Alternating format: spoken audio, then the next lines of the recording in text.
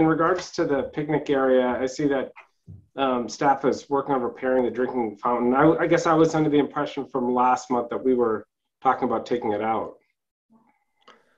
Um, I, I, yeah, there was discussion on on whether that was needed there, and I don't know that there was. Uh, we reached a consensus on that. So in the meantime, I mean, we're open to to doing, you know, we're open to receiving direction on that.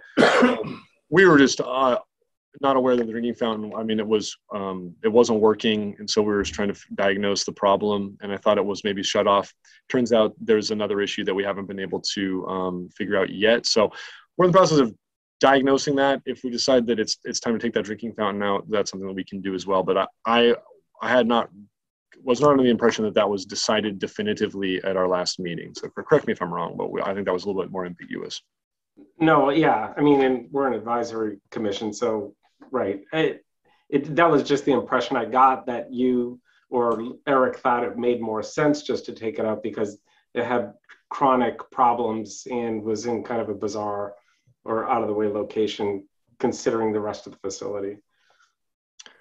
Um, yeah, no, and I, I can see I both both sides of it. So I think we're just in until you know kind of further direction. We're just going to try to having a not working drinking fountain made less sense to me than having either a drink a working one or or we can or we can remove it. So we were focused on um, you know trying to diagnose the problem first because there was water flowing. So we'll see is there something leaking or is there something that we, that we need to fix there regardless, and then um, we can figure that out. But I'm I'm I'm open to, to having that you know be revisited if, if we want to discuss that further. Luke, are there any other fountains along the panhandle?